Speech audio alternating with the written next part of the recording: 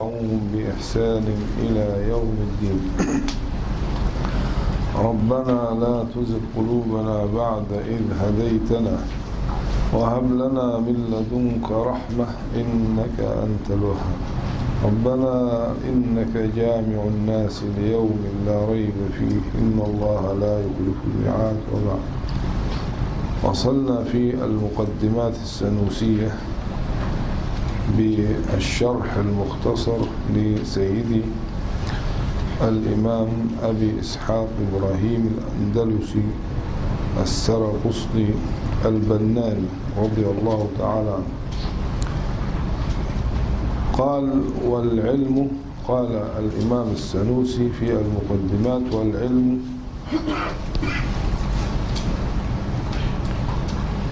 والعلم صفة ينكشف بها المعلوم على ما هو به انكشافا لا يحتمل النقيض. صفة العلم.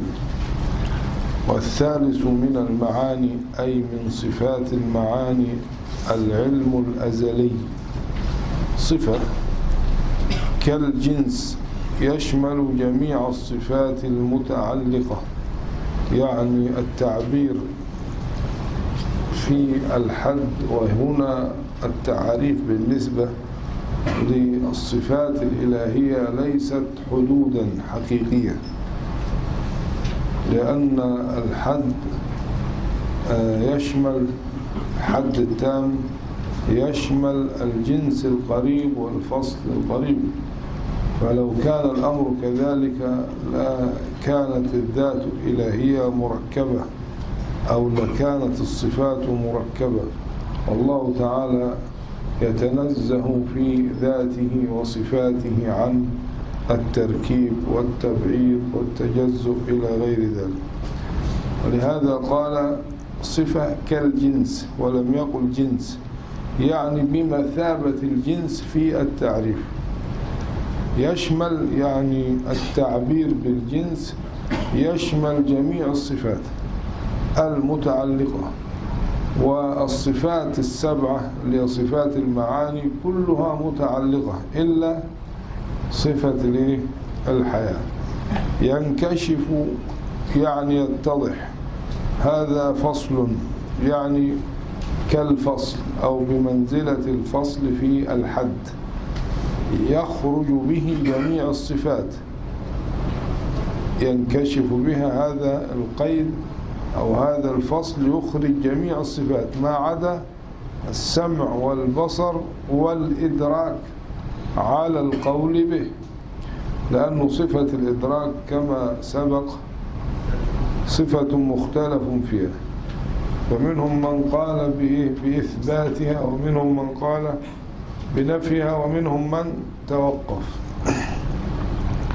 والتعبير بالمضارع يقتضي يعني لماذا لم يقل العلم الأزلي صفة انكشف بها؟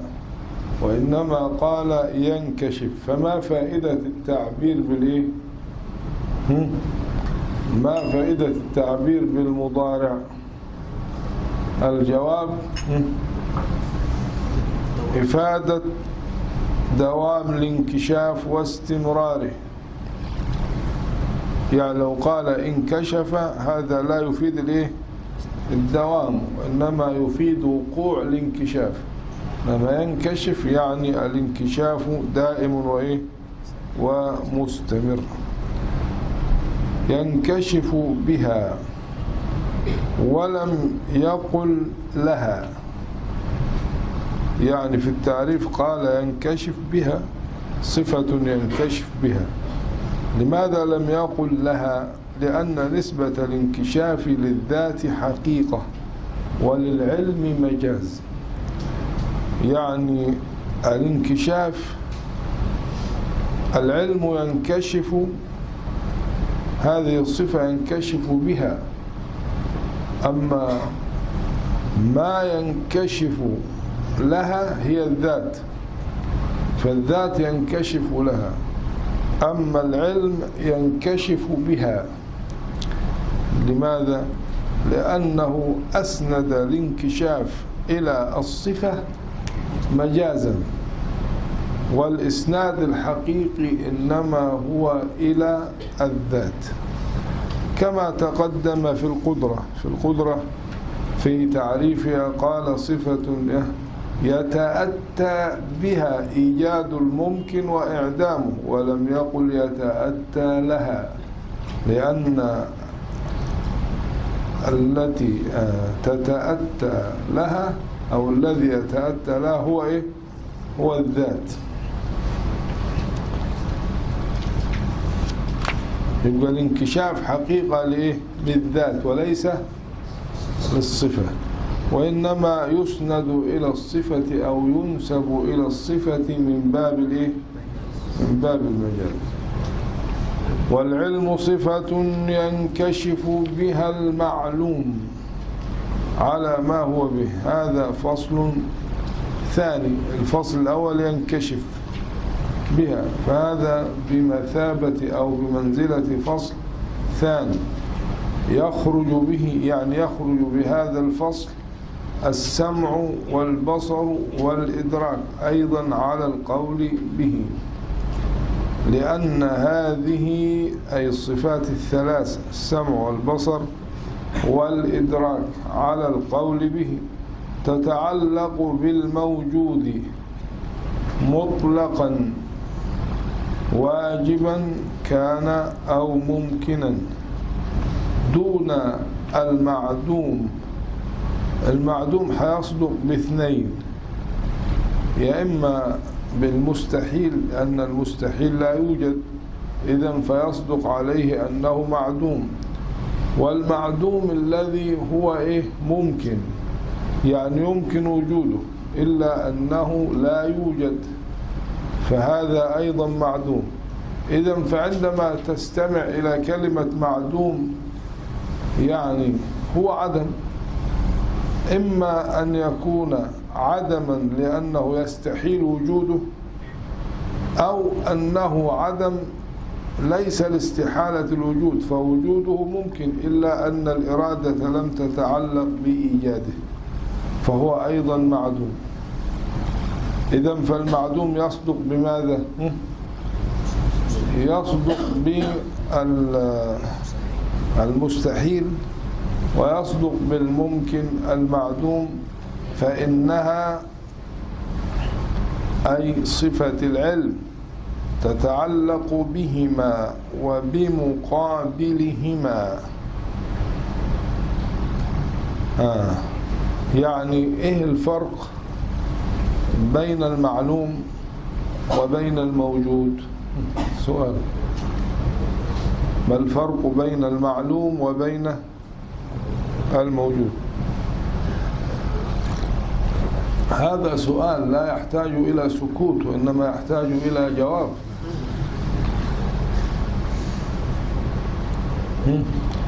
ما الفرق بين المعدوم وبين الموجود؟ بين المعلوم وبين الموجود. بين المعلوم وبين الموجود.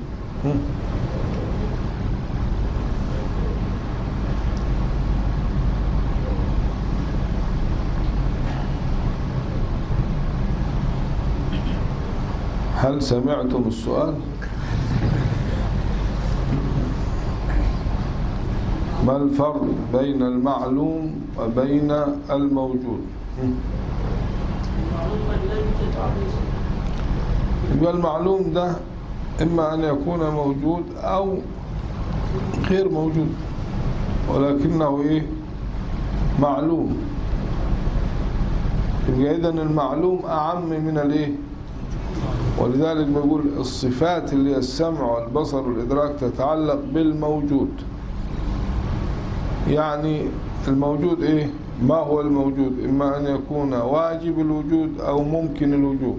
فيتتعلق بالموجود مطلقا. لكن صفة العلم لا تتعلق بالموجود فقط وإنما تتعلق بالواجب ها؟ بالموجود الواجب وبالممكن والممكن ممكن يكون إيه؟ ممكن موجود وممكن معدوم. وتتعلق بالمستحيل الذي لا يوجد. إذا فتتعلق صفة العلم بجميع أقسام الحكم العقلي. فالعلم جزما والكلام السامي تعلقا بسائر الأقسام. فهي تتعلق صفة العلم بهما. يعني بالإيه؟ بالواجب وبالمعدوم اللي هو الممكن اللي هو إيه؟ فيه فيه طرفان فيه آه الممكن ده إما أن يكون ممكن معدوم وممكن موجود. وكلمة المعدوم تصدق ب باثنين تصدق بالمستحيل وتصدق بالإيه؟ بالممكن المعدوم. فإنها أي صفة العلم تتعلق بهما وبمقابلهما. يعني صفة العلم تتعلق بالمعدوم الصادق بالمستحيل والممكن المعدوم وبمقابلهما ما هو المقابل لهما؟ الواجب والممكن الموجود. يبقى إذن هي تعلقت ب بجميع الأقسام. فهنا كلمة المعلوم أعم من كلمة الموجود. يعني ما من شأنه أن يعلم سواء كان موجود. والموجود ده إما إيه؟ واجب يا إما ممكن. سواء كان معدوما. والمعدوم يصدق بالإيه؟ بالمستحيل وبالممكن الموجود. فصفة العلم تتعلق بما هو معلوم بما هو إيه؟ معلوم. بخلاف السمع والبصر والإدراك فهذه تتعلق بالموجود مطلقا سواء كان الموجود واجب الوجود أو إيه؟ أو ممكن الوجود. اقرأ. والمعلوم ما شأنه أن يعلم. وهو آه يبقى إذن المعلوم هو إيه؟ ما شأنه أن يعلم. طب ما هو أو ما ما الذي شأنه أن يعلم؟ كل معلوم واجب وكل كل واجب وكل جائز وكل مستحيل. لأننا نعلم ونقول ما هو الواجب فله تعريف. وما هو ال- ال- الجائز وما هو المستحيل. وهذه كليات. تندرج تحتها جزئيات لا تنحصر سواء كانت هذه الجزئيات موجودة في الخارج أو غير موجودة من الشأن إحنا لأن الكل ينقسم إلى إيه؟ مفهوم الكلي إلى أقسام ثلاثة تؤول في القسمة إلى ستة. يعني الكل إما أن يكون الكل ده مفهوم في الذهن ممتنع لا يوجد كل يعني معنى في الذهن آه لا يوجد منه شيء يعني في الخارج. عدم وجود شيء في الخارج من أفراده يرجع إلى اثن إلى أحد اثنين إما لأنه يستحيل وجود أي فرد أو لأنه يمكن إلا أنه غير موجود. فهذا كلي هنا إيه؟ انقسم إلى قسمين. كل ممتنع الوجود. امتناع الوجود إما ليه؟ لأنه مستحيل أو لأنه ممكن. ده إيه؟ قسم. وفي كل لا يوجد منه في الخارج إلا فرد واحد. طيب الفرد الواحد ده يستحيل وجود غيره أو يمكن وجود غيره. إذا فانقسم إلى إيه؟ اثنين. النوع الثالث كل يوجد منه أفراد كثيرة ولكنه آه هذه الأفراد إما أن تكون متناهية أو غير متناهية. إذا فالأقسام كام يبقى لو قلت لك قسم الكل باعتبار وجوده في الخارج وعدم وجوده فتقول ستة أقسام. الأول ما فيش ولا فرد. ما فيش حاجة. الثاني في فرد واحد. الثالث فيه أفراد. ولكن هل هي متناهية ولا غير متناهية؟ إذا فانقسم الثالث إلى قسمين كما انقسم الثاني والأول. إيه المثال بتاع الأول؟ كلي يمتنع وجود أي فرد منه في الخارج أو كل لا يوجد منه في الخارج شيء. فهذا ينقسم إلى قسمين. الأول لا يوجد شيء منه في الخارج للاستحالة زي إيه؟ آه شريك البال آه اجتماع الضدين. لا يوجد في الخارج حاجة اسمها اجتماع الضدين لكن ده يفهم في الذهن. لا يوجد في الخارج شريك لله لا يوجد في الخارج ولد لله. لا يوجد زوجة. ده اسمه إيه؟ زوجة أي زوجة. ولد أي ولد. شريك أي شريك. ولهذا كان كل لأنه يفهم منه الشركة. يطلق على كثيرين. لكن الثاني في القسم الأول إنه لا يوجد مع إمكان الوجود. زي إيه؟ بحر من زئبق جبل من ياقوت. أو جبل من خبز. هذا إيه؟ غير موجود لكنه يمكن إيه؟ الوجود. النوع الثاني كل لا يوجد منه إلا فرد واحد. طب لماذا لا يوجد إلا فرد؟ قال لك لأحد أمرين. يا إما يمتنع وجود غيره بالأدلة العقلية والنقلية أو أنه يمكن ولكنه غير موجود. مثل إيه؟ آه فرد واحد بس الموجود. ما فيش غير كده. زي إيه؟ إله. إله ده مفهوم كلي. أي إله يطلق عليه أنه إله. لكن لا يوجد في الخارج بحسب الأدلة العقلية والنقلية إلا واحد مع استحالة وجود إله آخر. أما النوع الثاني في القسم الثاني اللي هو لا يوجد منه في الخارج إلا فرد واحد مع جواز زي مثلا الشمس. أي شمس لكن ما فيش غير شمس واحدة. خلق الشمس والقمر. يبقى إذا ده. لكن هل يمتنع وجود شموس أخرى؟ لا. لكن الموجود إيه؟ ها؟ شمس واحدة. لكن غير غير إيه؟ ممتنع وجود شموس أخرى. يعني مثلا لا يوجد في العالم إلا بحر واحد اسمه البحر الأحمر. لكن ممكن يوجد مليون واحد ثاني لكن غير موجود إلا واحد. مع إمكان وجود إيه؟ آه بحار أخرى. آه النوع الثالث آه يوجد منه في الخارج أفراد. ولكن هي متناهية ولا غير متناهية؟ قالوا زي مثل الكواكب والنجوم. في الدنيا كواكب ونجوم كثيرة إلا أنها متناهية يعني محصورة ومعدودة. لكن القسم السادس والأخير ده اللي هو وجود أفراد في الخارج غير متناهية قالوا لا نجد له مثالا على عقيدة أهل الحق. يعني مش لا نجد مثال لهذا القسم ولذلك بعضهم أسقطه. فجعل الأقسام خمسة وليس ستة. قال الكل الذي يوجد منه في الخارج أفراد غير متناهية قالوا على حسب عقيدتنا إحنا لا نجد له مثال. ليه؟ لأنه القاعدة عندنا تقول كل ما دخل في الوجود فهو متناهٍ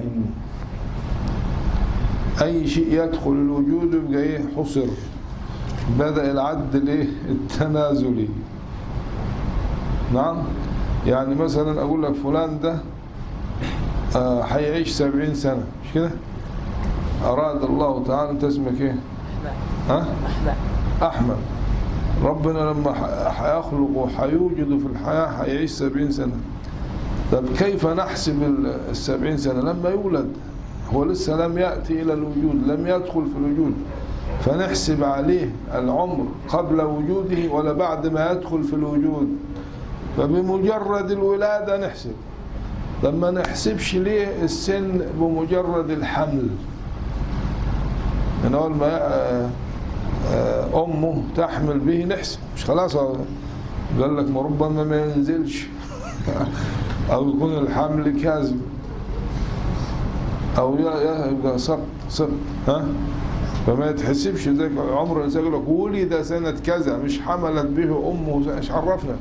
والحمل غير منضبط إنما الولادة منضبطة حاجة ظاهرة. طلعت بتصرخ وتبكي وعاوز يرضع. إنما في الحمل الله أعلم قد يكون ما فيش حمل. وهم. يبقى إذا لم يولد هل يحسب عليه العمر؟ فهذا كمثال ما دخل في الوجود. أي شيء يدخل في الوجود يبقى بدأنا نعد دلوقتي. زي العداد بتاع التاكس. من غير ما تركب وانت واقف بره لا يمكن يعد هيعد على مين؟ لازم تدخل. فإذا دخلت وأغلق العداد اشتغل في ثانية. طبعا في ناس بتلعب في العداد زي ما الناس بتزور في الأعمار. يكون عنده عشرة يكون عشرين يكون عشرة وهكذا. يبقى إذا كيف نأتي بشيء موجود في الخارج وله أفراد غير متناهية قالوا هذا غير موجود إلا في على مذهب الفلاسفة ليه؟ لأنهم يعتقدون أن الأفلاك قديمة وأن حركة الأفلاك حادثة لأنها تنعدم فلا يمكن القول بإيه؟ بقدم الحركة لأنها توجد وتنعدم. فهم يقولون إلا أنه ما من حركة إلا وتسبقها حركة وهكذا إلى لا أول. إذا فأفراد الحركات موجودة في الخارج على حسب مذهبهم ولكنها غير متناهية لأنه ليس لها إيه؟ ليس لها بداية. هي كده حسب عقيدتهم وحسب ملتهم في إيه؟ كل له أفراد في الخارج غير متناهية. لكن بعض العلماء علماء أهل السنة والجماعة حاولوا يجيبوا إيه مثال. فقالوا إيه آه نعيم أهل الجنة. آه طبعا النبي صلى الله عليه وسلم بيقول ألا آه لما بيقول أصدق أصدق كلمة. قال الشاعر لبيد آه الشاعر اللي هو مين اسمه؟ لا آه هو تقريبا هو اللي هو المثال اللي قال أصدق آه لبيد لبيد. قال ألا كل شيء ما خلا الله باطل وكل نعيم لا محالة زائل؟ فقال إلا إيه؟ إلا نعيم الإيه؟ الجنة. وكل نعيم زائل. إلا إيه؟ نعيم الجنة. وأيضا في المقابل كل غم كل كرب كل مصيبة كل حزن. علاجه إيه؟ ما فيش فايدة إلا الصبر. مع الأيام حيزول هذا الغم مهما طال. إلا إيه؟ غم أهل النار. حيزول فين؟ أصل مش هيروحوا إيه؟ الجنة. فالغم بتاعهم مست كلما أرادوا أن يخرجوا منها من غم أعيدوا. فالغم معهم لا يزول. وكذلك النعيم والفرح والسرور في الجنة لا يزول. لكن نعيم الجنة لا يزول باعتبار إيه؟ باعتبار إمكان وجود أفراد منه غير متناهية. لكن الأفراد التي وجدت بالفعل منه هي متناهية. إذا فهذا المثال لا يصح. نحن نتكلم على الموجود بالفعل وليس على إيه؟ ها؟ على ما يمكن وجوده. فالمثال ده آه لما مثلوا به. لو كان إحنا بنتكلم على الموجود مش على ما يمكن وجوده. يبقى ما يمكن وجوده ده غير إيه؟ غير محصور غير متناهي. إنما الذي وجد بالفعل يبقى هو متناهي. يبقى كده القاعدة لا تنخرم لا في الدنيا ولا في الآخرة. كل ما دخل في الوجود فهو متناهي قطعا. راحوا جابوا إيه؟ مثال آخر. قالوا كمالات الله تعالى قديمة. مش كده؟ الكمالات أفرادها. وهي موجودة وهي غير متناهية. وهذا المثال أيضا لا يصح لأن نتكلم في الوجود الحادث. ولا نتكلم في الوجود الإيه؟ في الوجود القديم. وضح كده ولا ما وضحش؟ يبقى كده ما ينفعش إيه؟ آه مثال على مذهب إيه؟ آه أهل السنة. طب بالنسبة للكمالات غير متناهية واحد بيقول لي طب ما ربنا سبحانه وتعالى يعلمها. كيف يعلمها وهي غير متناهية؟ يعني بالنسبة لنا نعلم أن الله تعالى له كمالات لا تتناهى لا تنحصر يعني. بالنسبة لنا لا نستطيع لكن الله يعلمها. فإذا علمها لا بد أن تكون إيه؟ متناهية. لأنه طالما دخلت في العلم يبقى إذن هي إيه؟ متناهية. واضح كده؟ فالجواب على هذا أنه الكلام ده التناهي بالنسبة للعلم الحادث لأنه محدود. أما العلم القديم لا أول له فهو غير متناهي فما يدخل فيه أيضا غير متناهي.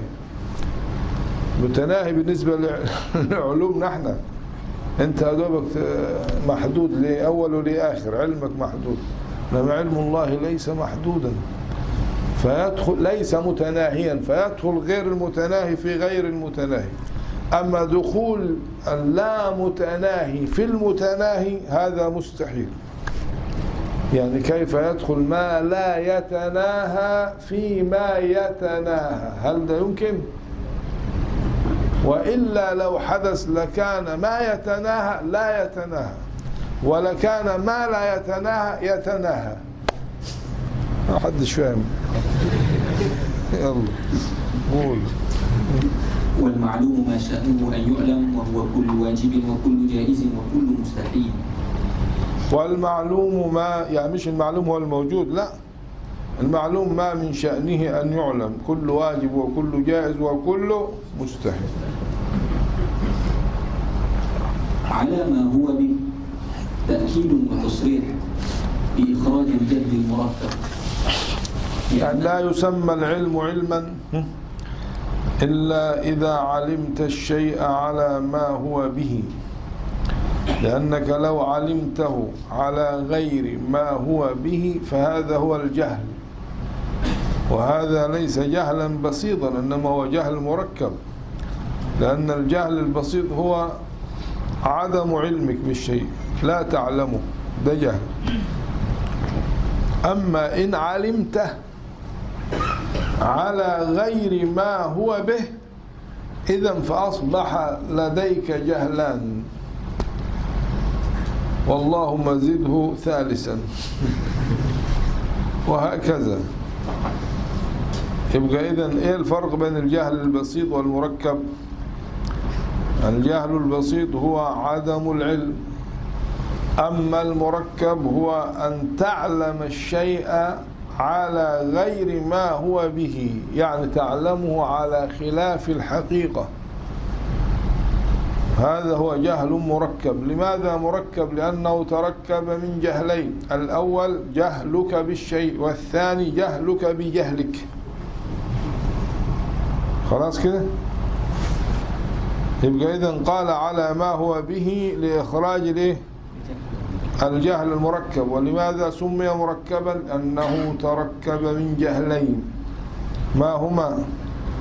جهلك. يعني عدم معرفة الشيء يعني مثلا لا أعرف ما هذا. هذا جهل إيه؟ بسيط. إنما واحد سألني ما هذا فقلت له هذا راديو. أو هذا آه رجل. أو هذا عفريت من الجن. هذا أخبرت بالشيء على خلاف ما هو به. هذا يسمى جهل إيه؟ تركب.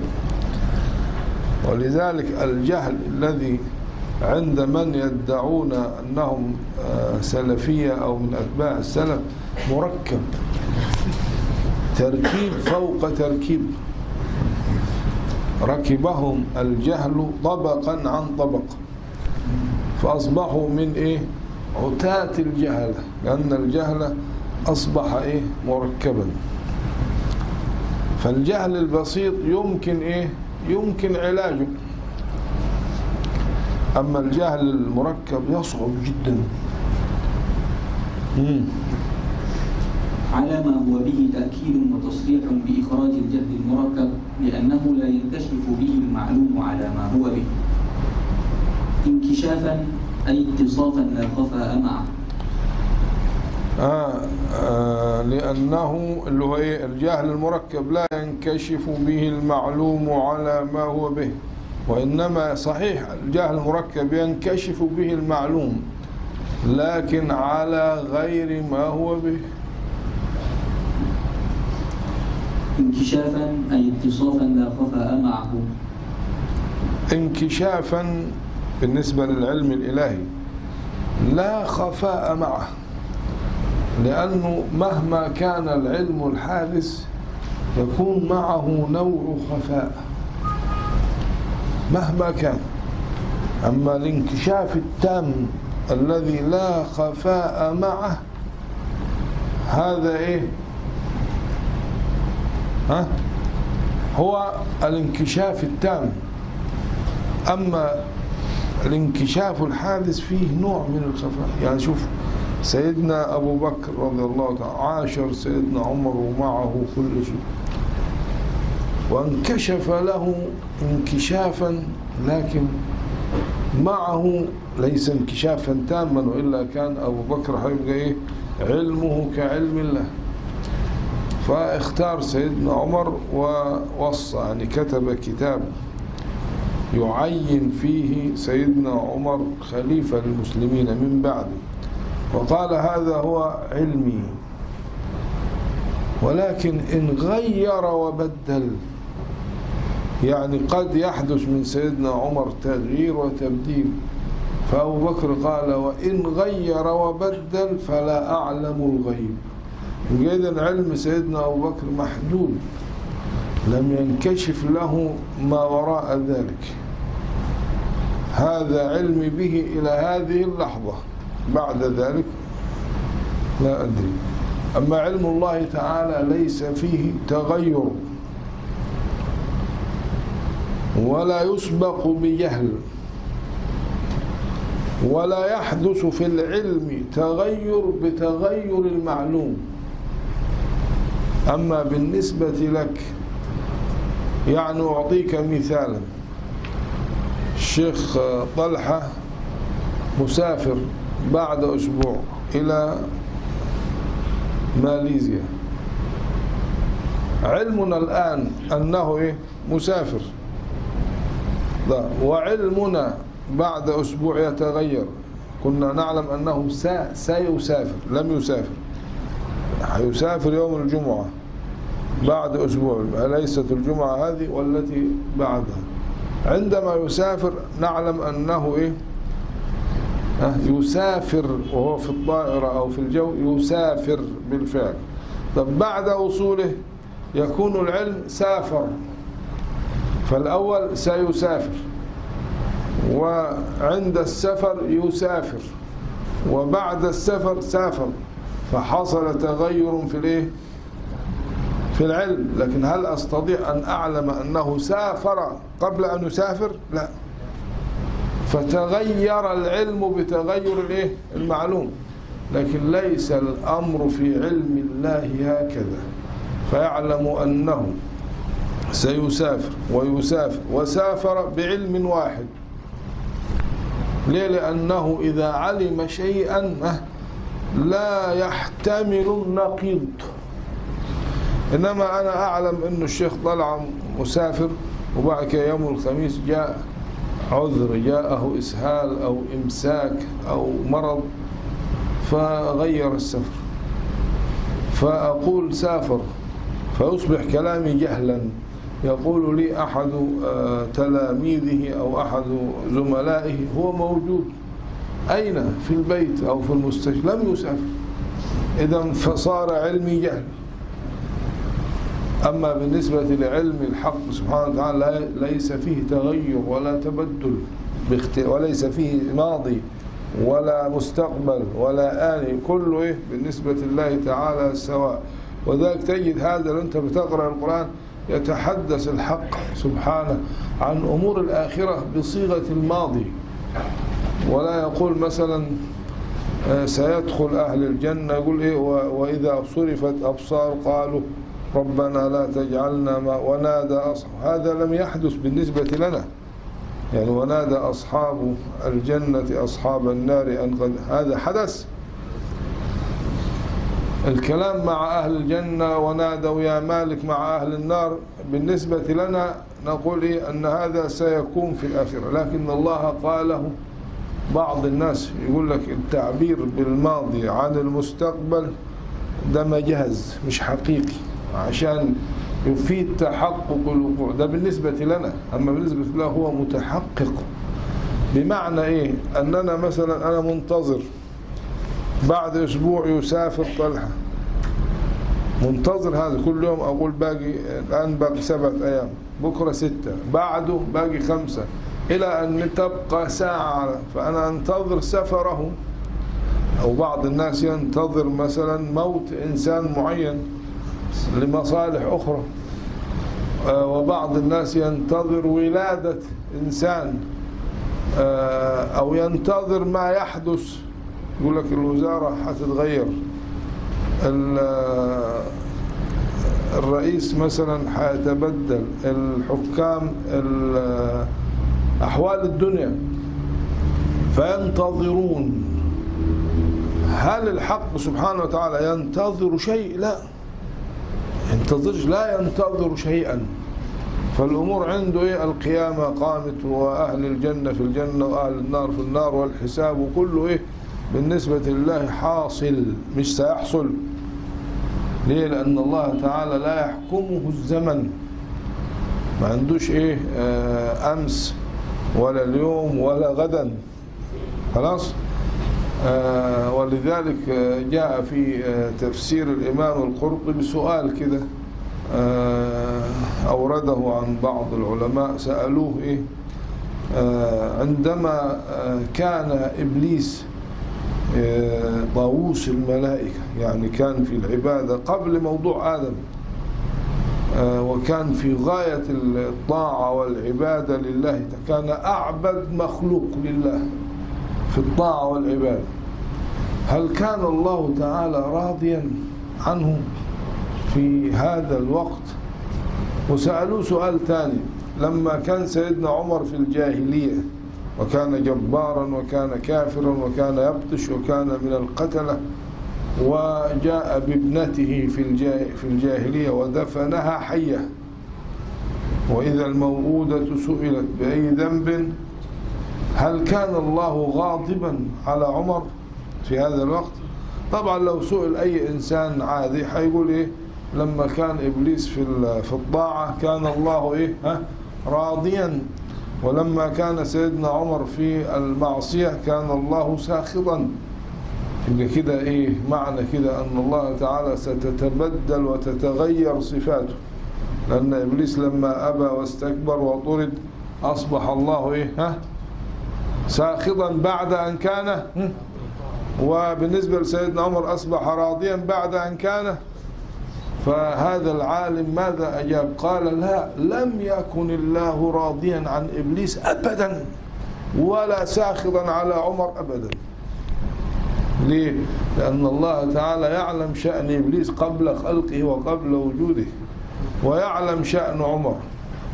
فلو كان حصل تغير في الصفة حيحدث تغير في العلم بمعنى أن الله عندما كان راضيا عنه لا يعلم ما يحدث منه بعد ذلك. وعندما كان إيه؟ آه ساخطا على سيدنا عمر لا يعلم منه ما يكون بعد ذلك من كونه أمير المؤمنين والقرآن ينزل وكأن الله لم يكن يعلم ما يستقبل أو ما هو مستقبل سيدنا عمر أو مستقبل مين؟ إبليس. يعني لم ينكشف له إيه؟ أمر إبليس انكشافا تاما.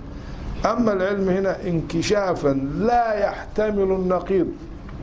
إنما لو تبدل معناه إيه؟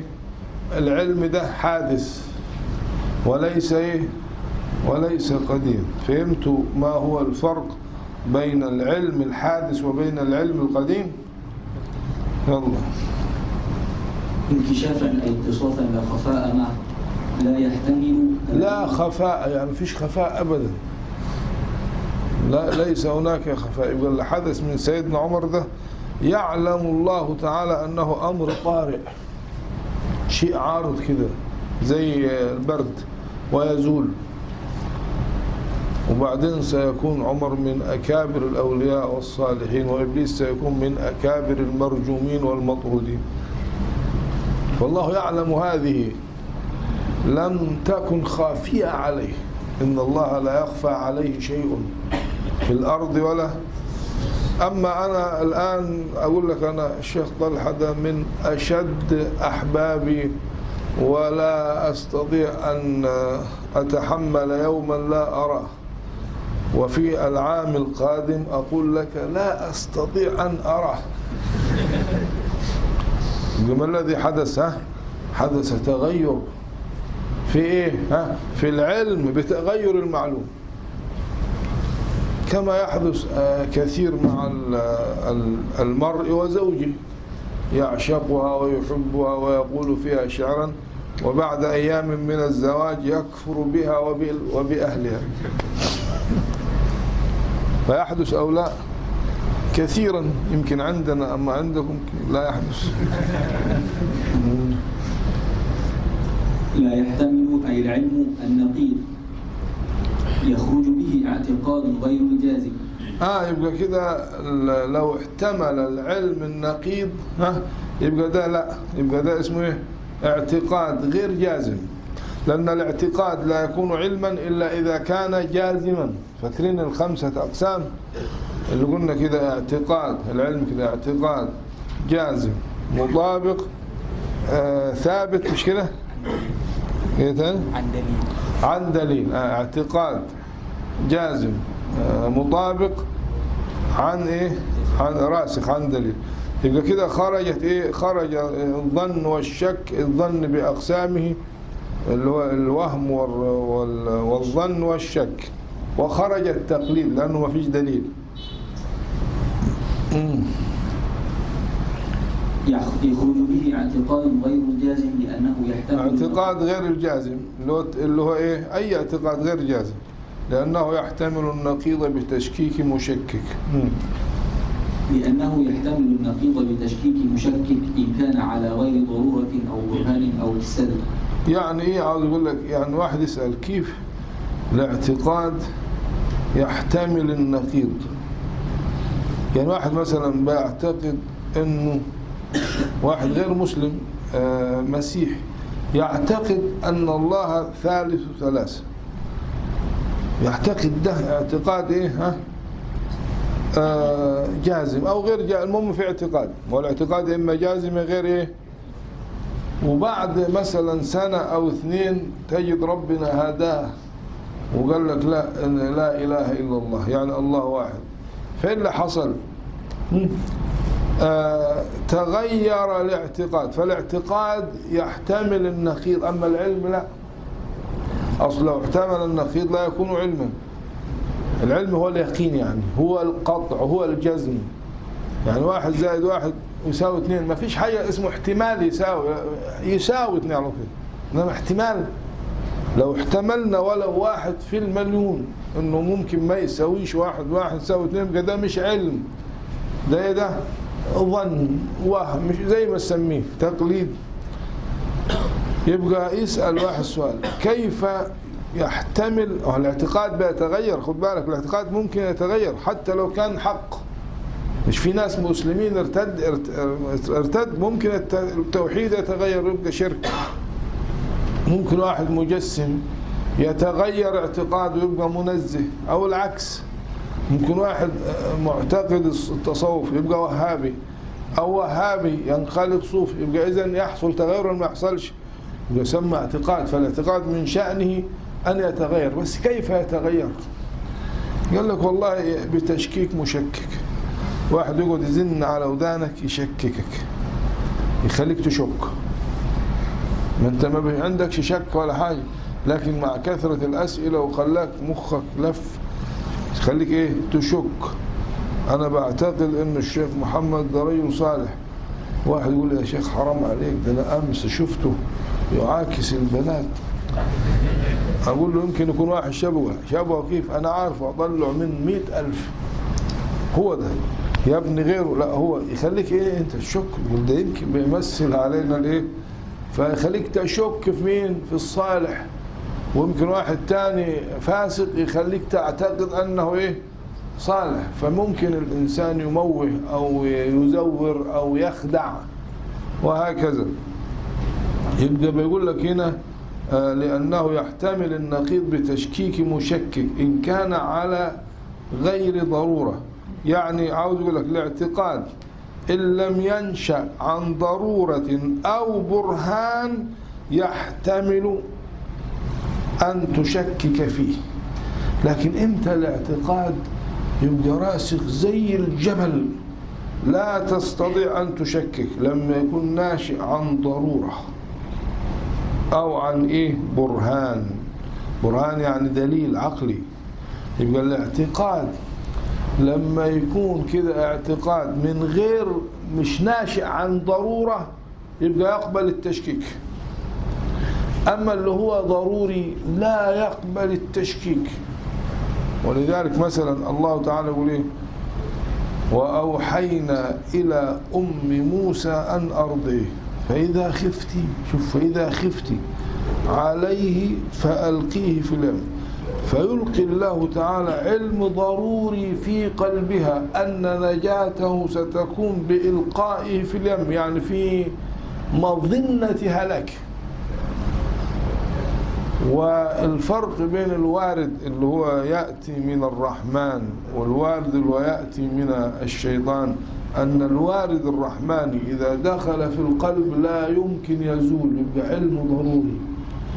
ينشأ عنه لو مثلا السماوات والأرض والإنس والجن قالوا لها أنك لو ألقيتيه في اليم سوف يغرق. لا يمكن يستطيع إيه دفع أو إزالة هذا العلم الضروري من صدرها. فالعلم إذا أصبح ضروريا لا يقبل التشكيك.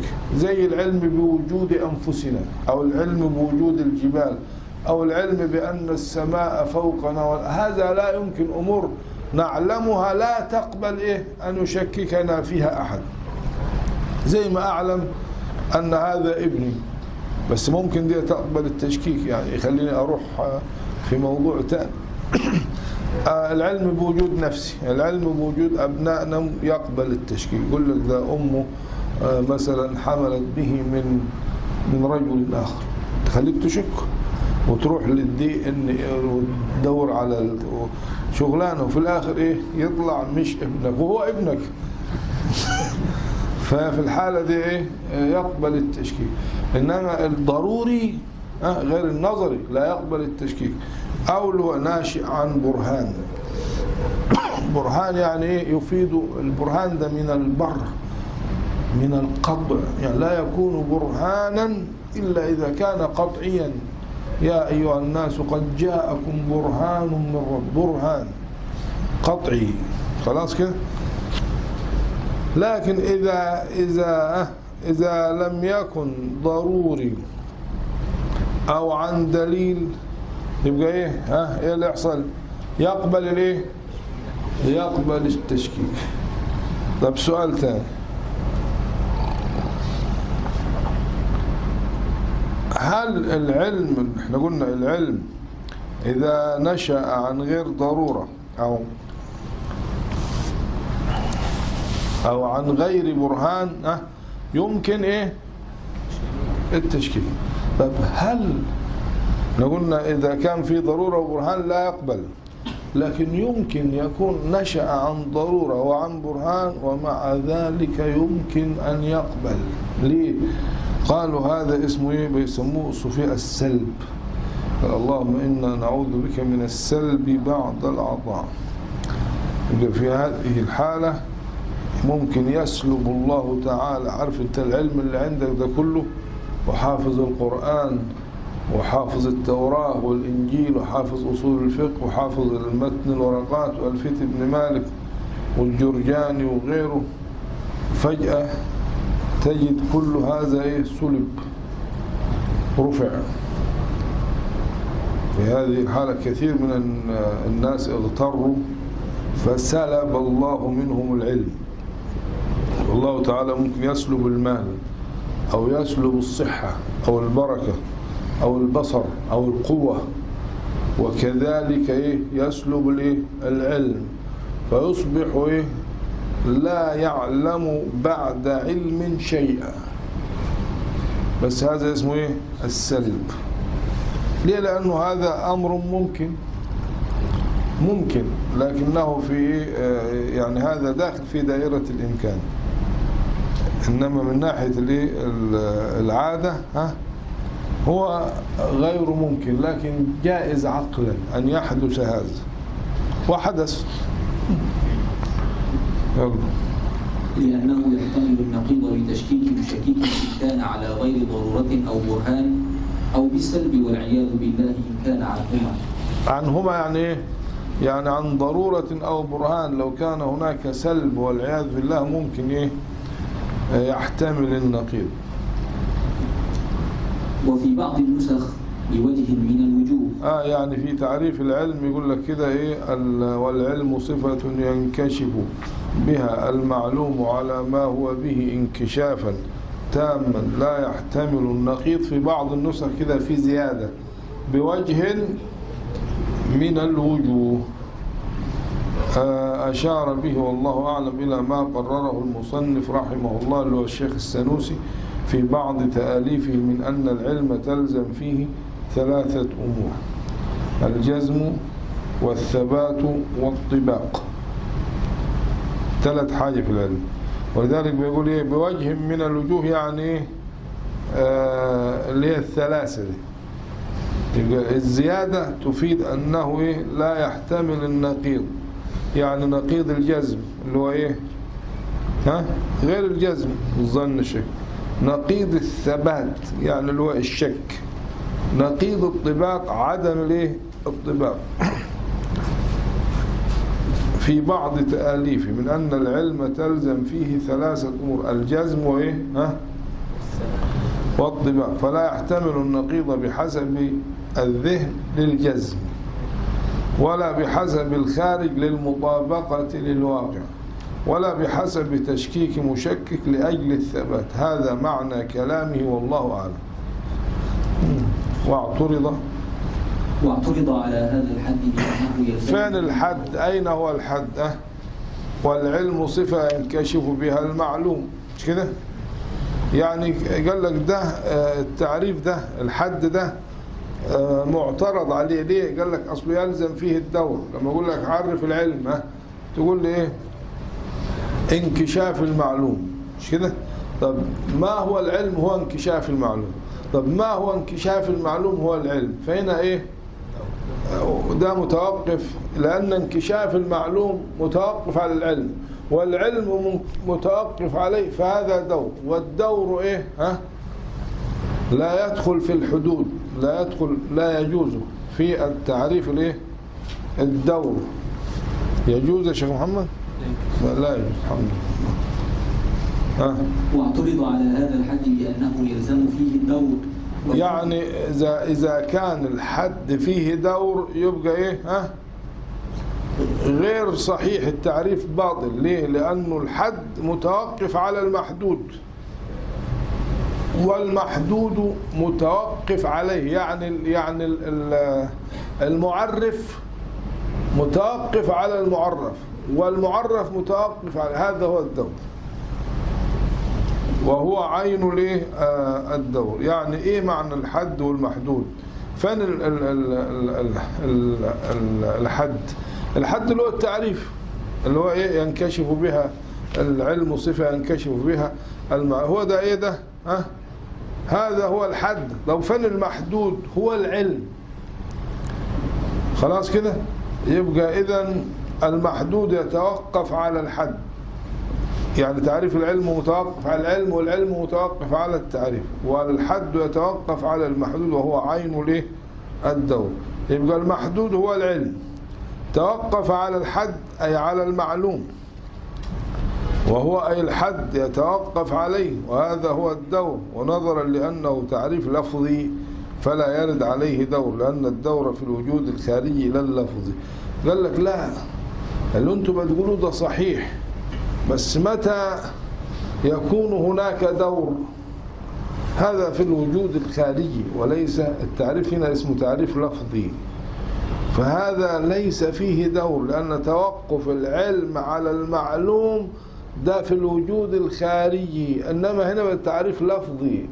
فإذا كان في اللفظ متوقفا عليه فلا دور. لأن الدور يكون فين؟ ها؟ فالجواب عن عن عن هذا الاعتراض أن في التعريف دورا فالجواب أن الحد المذكور لفظي. وقد صرحوا أن الحدود اللفظية لا يرد عليها دور.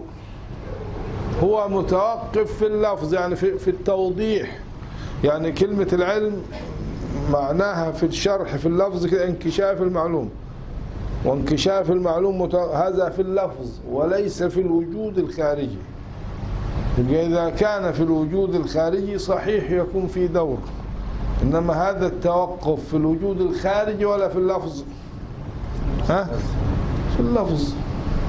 واضح؟ زي ما أقول لك عرف ال ال القمح. هو البر. لما هو البر هو القمح.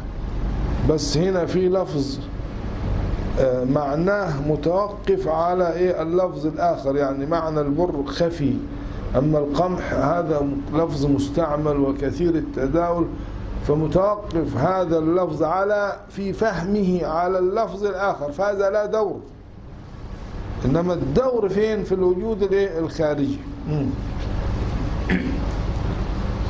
وللعلم تعلق واحد أزلي وهو صريح كلام المصنف رحمه الله. آه يعني العلم له تعلق واحد أزل يعني تعلق واحد تنجيزي قديم. يبقى نفهم كده. أن العلم ليس له إلا تعلق واحد. تنجيزي قديم. معنى هذا أن العلم ليس له تعلق صلوحي قديم وليس له تعلق تنجيزي حادث.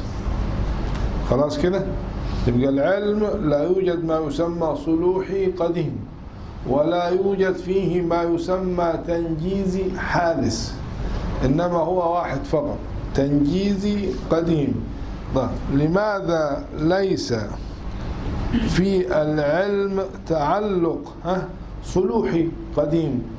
لأن التعلق الصلوحي القديم معناه إيه؟ صالح لأن يعلم وليس عالما بالفعل. فالصالح لأن يعلم ليس عالما. فلو قلنا في تعلق صلوحي كأننا نقول أنه الحق تعالى في الأزل صالح لأن يعلم وليس عالما. طيب ولو قلنا في تعلق تنجيزي حادث معناه أنه إيه؟ سبق بجهل ما دام حادث يبقى قبل حدوثه كان إيه؟ لم يكن علما. يعني كان جهلا. يعني لم يكن عالما فعلم. إذا فالعلم ليس له إلا إيه؟ ها؟ تعلق واحد وهو إيه؟ تنجيز قديم. وللعلم تعلق واحد أزلي وهو صريح كلام المصنف رحمه الله ونفعنا به. آمين. في الكبرى. يعني في السنوسية الكبرى اللي بنشرحها يوم الأحد إن شاء الله. في فصل وجوب الوحدة للصفات. في فصل وجوب الوحدة يعني الكلام اللي قاله المصنف في السنوسية في فصل وجوب الوحدة للصفات. وقيل وقيل له تعلقان. يعني العلم في قول آخر إنه له تعلقان لكن هذا القول غير معتمد. آه. أزلي وغير أزلي. هي معنى أزلي؟ يعني اللي إحنا قلنا عليه اللي هو التعلق التنجيز القديم. ومعنى غير أزلي يعني حادث يعني تعلقا تنجيزيا حادثا. لكن لكن يمكن إيه أن نتجاوز ونقول ليس هناك تعلق تنجيزي حادث وإنما المراد به هو التعلق التنجيزي الحادث إظهار التنجيز القديم. فسمي تعلقا تنجيزيا حادثا وهو نفس القديم ولكنه ظهر بعد أن لم يكن قد ظهر. خلاص كده؟ يبقى كده من باب التجوز. آه نقول على أو من يقولون إن للعلم تعلقا تنجيزيا حادثا نقول لا هو عبارة عن إظهار التعلق التنجيزي القديم. لأن التنجيزية الحادث لو قلنا به كده يقتضي يقتضي سبق الجهل. لكن إذا أردنا يعني لو أردنا أنه تنجيزي حادث يعني وجد بعد أن لم يكن هذا هو الذي يقتضي سبق الجهل. إنما إذا أردنا بالتنجيز الحادث اللي هو إيه؟ ظهور ما ما تعلق به العلم القديم فهذا لا ضرر فيه. لكن إيه؟ يخشى أن يفهم الكلام على أنه إيه؟ تنجيز حادث يعني لم يكن أه فكان. هذا هو الخطر. لكن إذا عرفنا وأردنا بالتنجيز الحادث يعني إظهار التعلق يعني ليس هناك جديد وإنما كان هذا العلم خافيا علينا فظهر فسميناه إيه؟ تعلق تنجيزي حادث. ولكنه في الحقيقة ليس حادثا وإنما إيه؟ ظهر ما تعلق به العلم القديم في الوقت الذي أراده الله. وقيل له تعلقان أزلي وغير أزلي وهو ظاهر كلام ابن أبي شريف. يبقى كلام ابن أبي شريف ليس خطأ وإنما يحمل على هذا الوجه الذي قلنا يعني هو سمى إظهار التعلق التنجيزي القديم سماه تعلق تنجيزي حادث. وهو ظاهر كلام ابن أبي شريف في حواشي العقائد على ما نقل الشيخ ياسين منه حيث قال وقد صرح ابن أبي شريف في حواشي العقائد بأن تعلق العلم أزلي وفي بعض حواشيه عند قوله صفة أزلية تنكشف بها المعلومات عند تعلقها به بها. تمتاز المدركات عند تعلق تلك الصفة امتيازا قديما إذا كان ذلك التعلق قديما وهو التعلق بالنسبة إلى الأزليات والمتجددات باعتبار أنها ستحدث. وحادثا إن كان حادثا. وهو التعلق بالنسبة يعني وحادثا إن كان حادثا أي التعلق. لأن التعلق لا ضرر في أن نقول أن التعلق حادث. كيف تكون الصفة قديمة ويكون التعلق حادث؟ قال لك أصل التعلق ده أمر غير وجوده. إنما هو أمر اعتباري.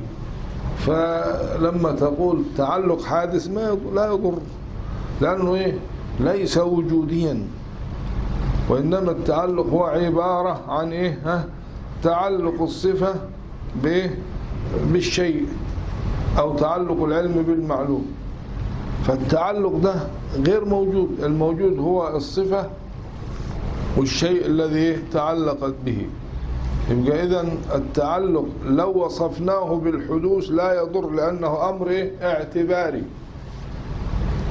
وليس معنى حدوثه يعني وجوده بعد عدم وإنما معنى الحدوث هنا التجدد وليس معناه الوجود بعد إيه؟ بعد عدم. وحادثا إن كان, إن كان حادثا وهو التعلق بالنسبة إلى المتجددات باعتبار وجودها الآن أو في الزمان الماضي. يعني أنا سميته باعتبار وجودها الآن سميته تعلق. حادث. أما باعتبار الزمان الماضي يبقى سميته إيه؟ تعلق تنجيزي. هذا بالنسبة لي. يعني ليس هناك تغير في العلم. يعني مثلا عندما أقول لكم الله تعالى موجود. قبل وجود الإيه؟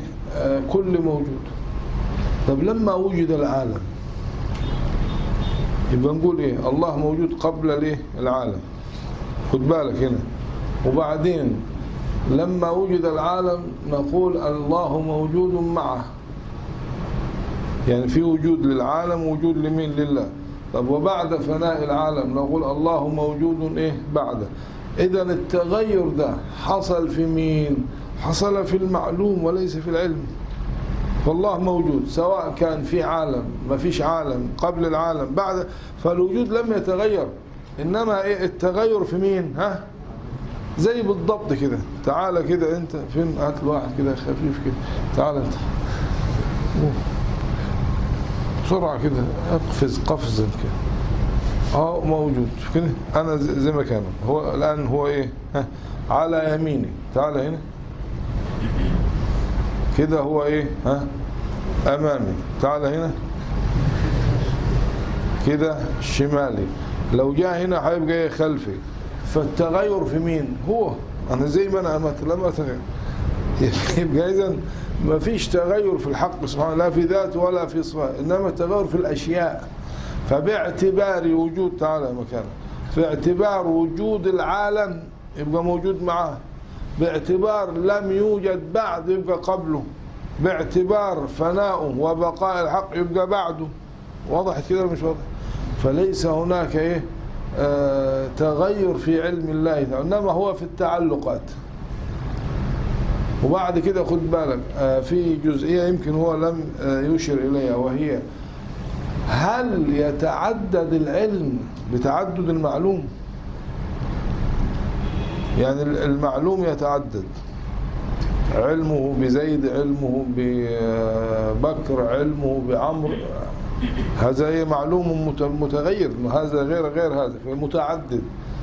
ولكن العلم بحسب الصفة يعني بحسب ذاته لا يتعدد بتعدد المعلوم.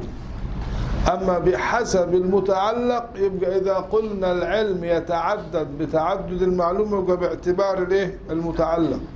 إنما قلنا لا يتعدد يبقى باعتبار الإيه؟ الصفة. واضح؟ يعني كده الجواب لو سئلت وق- وقيل لك هل العلم يتعدد؟ بتعدد لا التعدد في التعلقات. أما الصفة واحدة. إذا نظرنا إلى الصفة ما فيش تعدد. إذا نظرنا إلى زي القدرة. القدرة واحدة ولكن المقدور مش واحد مختلف. العلم واحد والمعلوم إيه؟ متعدد. فلا إشكال في توقيت الانكشاف بالتعلق. انتهى كلامه آه، صفة الإيه؟ الحياة. لا. خد إيه؟ الحياة ونخلص كده. يلا. قال المصنف رحمه الله والحياة صفة تصحح لمن قامت به أن يتصف بالإدراك. بس كده تعريف الحياة. الحياة صفة تصحح لمن قامت به أن يتصف بالإدراك. ده تعريف ليه الحياة. والرابع من المعاني الحياة الأزلية. صفة أيضا قال كالجنس. سألني شرحناها مليون مرة ولسه في ناس بتسأل لماذا يقال صفة كالجنس في تعريف العلم ولم يقل هي جنس؟ لأنه قلت لك الجنس ده يبقى فيه تركب فيه فصل قريب وفيه إيه؟ في جنس قريب. فلو كان جنس لكان هناك فصل ولكانت الصفة مركبة. إذا فهي ليس ليست تعاريف آه، حدودية وإنما هي من باب الرسوم. واضح؟ آه، يشمل جميع الصفات. بعدين بيقول تصحح. هنا تصحح يعني توجب بالنسبة لله إنما بالنسبة لغير الله تصحح يعني إيه؟ تجوز هو بيعرف الايه الصفة مطلقة. لم يقل الحياة القديمة. لما هنا بالنسبة لله تعالى يبقى صفة تصحح يعني توجب لمن قامت به لمن قامت يعني به الحياة به. أن يتصف بالإدراك أزلا وإيه؟ وأبدا. لأنه طالما توجب يبقى معنى كده أنه يتصف بالإدراك أزلا وإيه؟ وأبدا. آه، يبقى معنى تصحح يعني؟ توجب. يبقى إذا من لم يتصف بالحياة يبقى هنا لا يصح أن يتصف بالإدراك. يعني من لم تقم به الحياة لا يصح وصفه بالإدراك. والإدراك هنا يشمل إيه؟ حتى العلم السمع البصر. يعني لا يمكن أن نقول سميع ولا بصير. ولا عالم ولا متكلم ولا قادر إلا إذا كان حيا.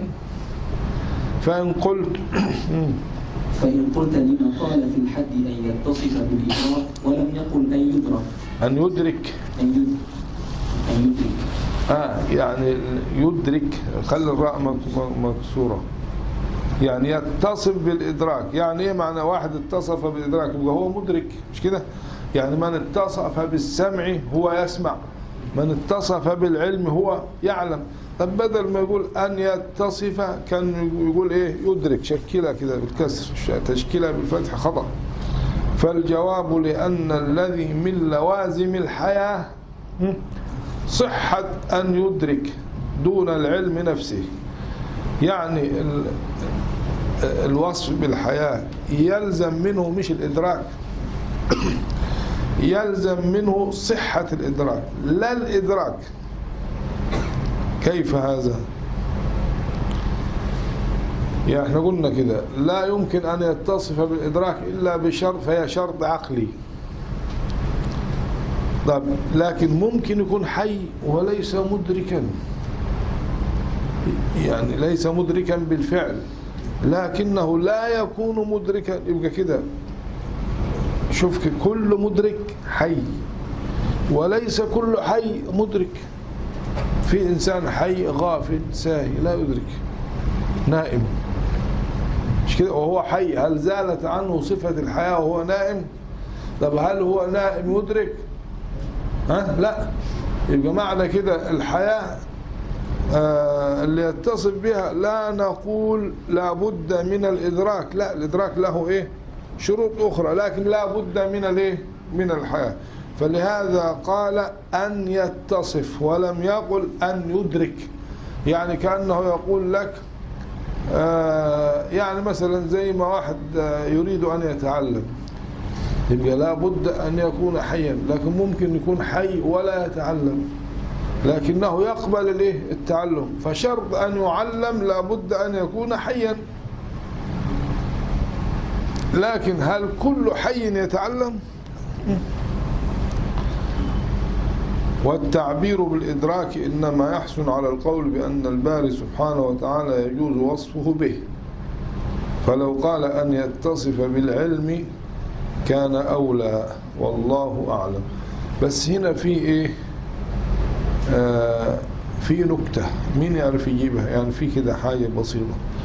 هو الشيخ السرقسطي آه يعني غفر الله له بيقول لك كأنه عاوز يقول لك إيه كلام السنوسي ده مش يعني بيقول لك إيه التعبير بالإدراك. هو هو بيقول إيه والحياة صفة تصحح لمن قامت به أن يتصف بالإدراك. قال لك السنوسي ده من الأشاعرة أو من ال... وإحنا لا نثبت الصفة دي اللي هي إيه صفة الإدراك. إحنا نتوقف فيها إحنا نثبت كم صفة؟ سبعة. اللي يثبت الإدراك عند ال ها؟ الماتريدية. يثبتوها عندهم صفة التكوين. صفة زائدة على على القدرة. فاللي يثبت صفة الإدراك يبقوا كده كام؟ ثمانية فقال لك الشيخ السنوسي نسي. هو المفروض إيه؟ هو لا يثبت الصفة دي. فالمفروض يقول إيه؟ ها؟ يقول أن يتصف بالعلم. يعني والحياة صفة تصحح لمن قامت به أن يتصف بالعلم بدل الايه الإدراك. ليه؟ لأنه إحنا الصفة دي مختلف فيها. الكلام إنما العلم مش مختلف فيه. فكيف ترد على سيدنا الشيخ السرقسطي؟ هو ما أراد صفة الإدراك عشان نخط الشيخ أراد إيه؟ المعنى. ولذلك الإدراك المعنى اللغوي ولذلك الإدراك ثابت في القرآن الكريم. لا تدركه وهو يدرك. أثبت ولا نفى؟ بس مش الإدراك اللي هي الصفة. الإدراك هنا بمعنى آخر. بمعنى الانكشاف أو الإحاطة. فاللي بيقول هنا أن يتصف بالإدراك ليس بصفة الإدراك. ليس بالصفة المصطلح عليها اللي هي زائدة على السمع والبصر والعلم. يبقى هو نسي هذا. يبقى الشيخ السنوسي إيه؟ ماشي مظبوط صح. والشيخ الثاني لم يدرك هذا. آه. وشمل الإدراك السمع والبصر. والإدراك. نحو آه شفت شفت كده هنا؟ لما قال أن يتصف بالإدراك كأن الشيخ السنوسي لما قال آه أن يتصف بالإدراك يعني مش بالإدراك اللي يصفه يعني, يعني الإدراك هنا يشمل السمع والبصر والإدراك يعني وصفة الإدراك. ها؟ نحو اللمس والشم والذوق على القول به. على القول به يعني على القول بأن هناك صفة اسمها إدراك. طيب إذا كان الإدراك ده شامل السمع والبصر وشامل الإدراك يبقى الإدراك هنا بالمعنى اللغوي. أما الإدراك الثاني بالمعنى ليه؟ ها؟ بالمعنى الاصطلاحي. وإلا لو قلنا الإدراك شامل الإدراك يبقى معناها كأنه شامل نفسه. طيب إذا كان كده الإدراك يشمل السمع والبصر والإدراك لما لم يشمل نحو القدرة والإرادة والعلم والكلام. ما كان خلاه إيه وسع يقول لك ما ينفعش العملية مش فوضى كده. ولم يشمل يعني الإدراك نحو القدرة والإرادة والعلم والكلام مع أنها مصححة لمن قامت به ذلك. يعني الحياة تصحح لمن قامت به أن يتصف بالقدرة والإرادة والعلم والكلام. لكنه قال حاجة واحدة أن يتصف بالإدراك وخلى الإدراك يدخل فيه السمع والبصر والإدراك. طب لماذا لم يدخل بقية الصفات زي القدرة والإرادة والعلم والكلام مع أنها مصححة أي صفة الحياة لمن قامت به أن يتصف بذلك؟ ولهذا صرح المصنف رحمه الله في صغرى الصورة باستحالة وجود الصفات السابقة وهي القدرة والإرادة والعلم والسمع والبصر والكلام بدونها أي بدون صفة الحياة. نعم؟ ممكن تفهم بدلالة الالتزام. إيه ده؟ ممكن تفهم باقي الصفات بدلالة الالتزام. لا هو عاوز يقول لك إيه؟ آه يدخل السمع والبصر في المعنى اللغوي. لكن لا تدخل آه صفة القدرة والإرادة والعلم والكلام فيه. فلهذا صرح بها. يعني قال إيه تصحح لمن قامت به العلم صرح ذكر كده في صغرى الصغرى صرح بالصفات الأخرى ولم يصرح بالسمع والبصر لأن الإدراك إيه؟ يشملهما. بس كده. وأورد على قوله أن الصفات السابقة تستحيل بدون الحياة. مش كده؟ يعني إيه الصفات السابقة؟ القدرة الإرادة العلم الكلام كل ده يستحيل من غير الحياة. آه جابوا له إيه؟ مصيبة كبيرة. قال أنت بتقول إنه من غير الحياة ما فيش حاجة اسمها سمع ولا بصر ولا كلام. مش كده؟ ده في حاجة أكبر من كده. حنين الجذع. الجذع بكى وممكن يتكلم الجذع. والجذع ليس فيه حياة. ووقع منه البكاء والحنين والحنين والبكاء هذا إدراك حزن. ده عنده مشاعر ده عنده حاجات نفسية. وهو هل حد أثبت الحياة للجذع؟ وبعدين الحجر أنت بتقول يستحيل قيام صفة الكلام بغير الحي. طب والأحجار التي تكلمت؟ وكان النبي صلى الله عليه وسلم بيقول والله إني في صحيح مسلم إني لأعرف حجرا بمكة. كان يسلم عليه. وكلام الجمادات وليس فيها إيه؟ ها؟ حياة. يبقى إذا الرد على على هذا الإيراد أو هذا الاعتراض إنه حنين الجزع وكلام بعض الجمادات وجد بدون صفة الحياة في هذه الجمادات على سبيل خرق العادة. يعني هذا إيه؟ آه ليس أمرا معتادا وإنما على سبيل إيه؟ خرق العادة. بس هنا في الجواب ده فيه إشكال. ما هو؟ إحنا بنقول هي شرط عقلي مش كده؟ يعني شرط عقلي. فلما نقول هنا خرق العادة هتبقى الحياة شرط عادي. ولهذا إيه؟ الجواب اللي فوق أفضل. وأجيب بأنه يجوز أن تخلق فيها الحياة. يعني الله تعالى خلق الحياة في الجزع وخلق الحياة في الأحجار فليس المراد الاستحالة العقلية. لأنه لو كان مستحيل عقلا يعني الحياة شرط عقلي ويستحيل وجود الكلام ووجود السمع والإدراك بدونها يبقى معناها لا يمكن إيه؟ تدخل كلمة إيه؟ خارق العادات هنا. خلاص كده؟ يبقى ليس المراد الاستحالة العقلية على وجه بعيد فتدبره. لما لماذا قال على وجه بعيد؟ لأنه هو المراد بها إنها مستحيل عقلا وليس مستحيل إيه؟ عادة. خلاص كده؟ والحياة. والحياة ليست من الصفات المتعلقة فلذلك لا تطلب أمرا زائدا سوى ذات الحي الحياة ليست من الصفات المتعلقة. يعني ليست زي القدرة والإرادة والعلم والسمع وال- وإلى آخره. فلا تطلب أمرا زائدا سوى ذات الحي. بخلاف غيرها من الصفات. يعني غير الحياة تطلب أمر زائدا على قيامها بالذات. وهو إيه؟ التعلق. تقتضي زائدا على القيام بالذات كالعلم مثلا فإنه بعد قيامه بالذات يطلب أمرا يعلم به. وكذا باقي هذه السبع.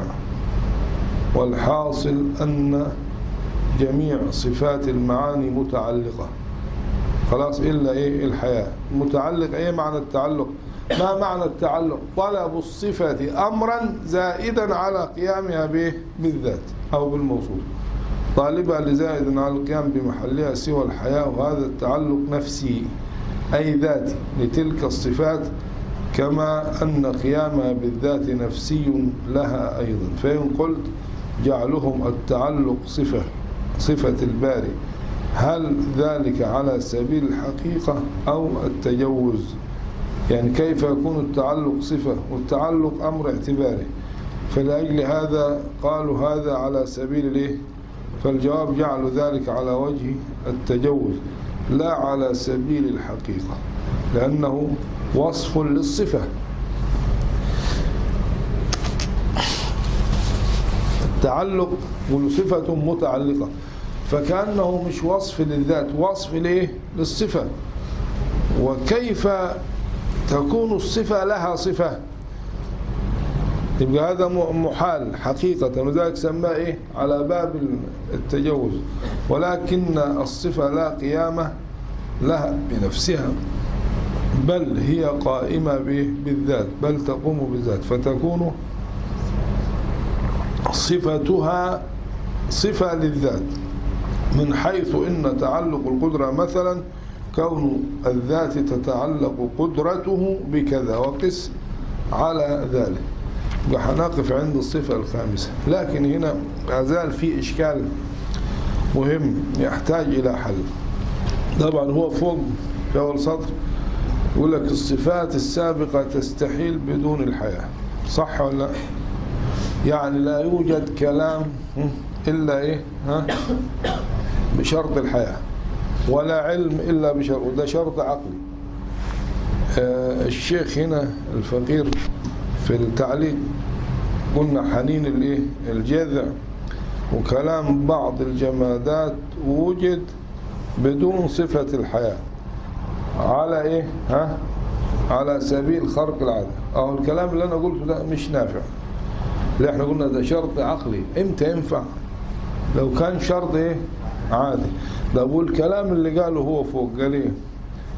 بيقول هنا وأجيب بأنه أه. إيه يا شيخ طلحة؟ أنه إيه؟ يجوز أن الحياة اقرأ. يجوز إيه؟ أن تخلق. فيها الحياة طب لا الجواب ده نافع ولا اللي تحت نافع؟ من باب أولى. مم. كيف تجيب؟ يعني هو فوق قال لك والله هي صحيح الحياة شر. بس قال إنه تخلق فيها الحياة.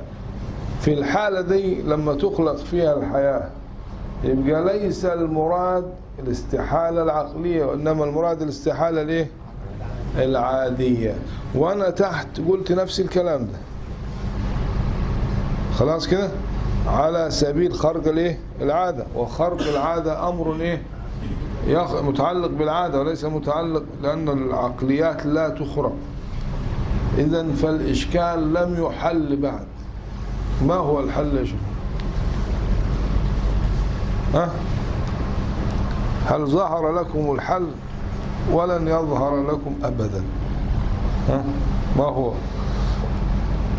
ما في أحد يجاوب كده. مفيش فتح مفيش إلهام مفيش كشف. ها.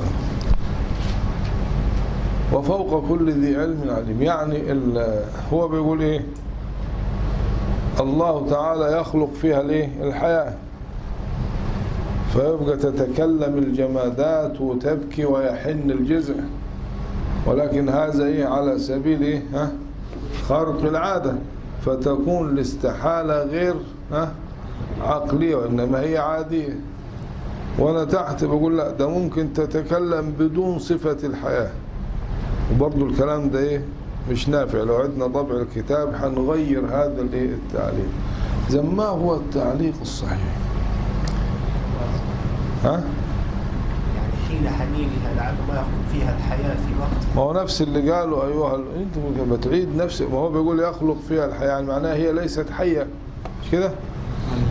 أو هي ما فيهاش حياة والله يجعل غير الحي يتكلم. يبقى كده تصبح ال- الحياة ليست شرطا عقليا. أيوه يا شيخ. ما من شأنه ها؟ ما من شأنه أن يتصف. ما هو الجمادات هل من شأنها أن تتصف بالحياة؟ خرج. ها؟ فيش إجابة أخرى؟ أنا الآن إيه رجعت عن هذا الكلام. وكلام الشارح مش واضح. يعني نفس العبارة بس هو بطريق وده بطريق. إنما ال- الجواب الصحيح ما هو؟ أن الجمادات والأحجار ليست آه، معدومة الحياة ولكنها فيها حياة لا ندركها. وقال تعالى وإن من شيء إلا يسبح بحمده. يبقى هي أصلا فيها حياة ولكن لا ندري يعني هي في الأصل إحنا اعتبرناها جمادات ولكن فيها حياة إلا أنها حياتها من نوع لا نعرفه. بدليل تسبيحها وإن من شيء إلا يبقى إحنا افترضنا افتراض هو اللي أوقعنا. إحنا قلنا آه، الجمادات. يعني معناها هي ليس فيها حياة. كيف؟ والله أسند لها التسبيح. ولكن قال ولكن لا تفقهون. بدل أوقعنا في الخطأ احت- افترضناها إيه جمادات. وذلك لو نظرت إلى أي شيء خلقه الله تعالى ما فيش حاجة آه، آه، كلمة جما هي اسمها جمادات لكن الجمادات والنباتات الإنسان والحيوان والسماوات ما فيش حاجة في الكون ما فيهاش حياة. طالما خلقها الحي ففيها نوع من الحياة. وهي اللي هيثبت لك كده. اقرأ كده. ثم قست قلوبكم من بعد ذلك فهي كالحو وإن من الحجارة لما يشقق. فيخرج منه ليه الماء. وإن منها لما يتفجر منه الأنهار. وإن منها لما, وإن منها لما يهبط من خش كيف يقال هذا مع عدم الحياة؟ كيف يثبت أو يسند لها الخشية؟ لو أنزلنا هذا القرآن على جبل إذا فوقوع الكلام منها ووقوع الحنين هذا على أصله. فما فيش إشكال. يبقى فيها حياة ولا ما فيهاش؟ ولكن ليست حياة كحياتنا بروح ود- ودم وأكل وشرب. وإلا كيف يسند إليها؟ ده القرآن أسند البكاء إلى فما بكت عن يبقى الأرض لما قلت تبكي والجبل آه، خاشعا متصدعا والحجارة تهبط من خشية الله يبقى الكو- والكون كله يسبح. يبقى, يبقى في حاجة اسمها هي إحنا بنسميها بالنسبة لنا لأنه ما فيش حركة ما فيش كذا ما فيش طعام ما بنسميها آه، كائنات غير حية. لكن الحياة موجودة في كل شيء خلقه الله. بدليل لما الحصى ها؟ آه، الحصى آه، لما الح- سبح في في يد النبي صلى الله عليه وسلم ويد سيدنا بكر سيدنا عمر لما وضعهم تقريبا في يد سيدنا عثمان. عارف الحصى لو وضع في يد كافر حيسبح بس إيه الفرق؟ أنه في يد النبي وفي يد سيدنا عمر سمع التسبيح. يبقى هو بيسبح بس أنا لأني محجوب لا أسمع. فحتى أنت تمر عند القبر والحديث انهما لا يعذبان والميت يصرخ أو ينعم وأنت محجوب عن ذلك. يبقى اذا هو إيه؟ فيه حياة. طالما هذه الأشياء فيها حياة يبقى يصدر منها الحنين ويصدر منها خلاص لا غرابة ولا نحتاج إلى كلمة خرق عادة ولا يحزنون. اللي ورطنا إيه؟ التسرع.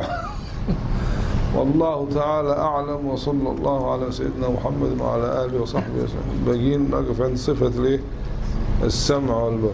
اللهم صل أفضل صلاة على أسعد مخلوقات سيدنا محمد وعلى آله وصحبه معلوماتك ومداد كلماتك الذاكرون وغفل عن ذكر الغافلون. واحد بيسأل يقول هل علم الله يتناهى أو لا؟ كيف يقال ده علمه قديم والقديم لا يتناهى؟ علم الله لا يتناهى لأنه لو تناهى لكان إيه؟ أه؟ لكان حادثا.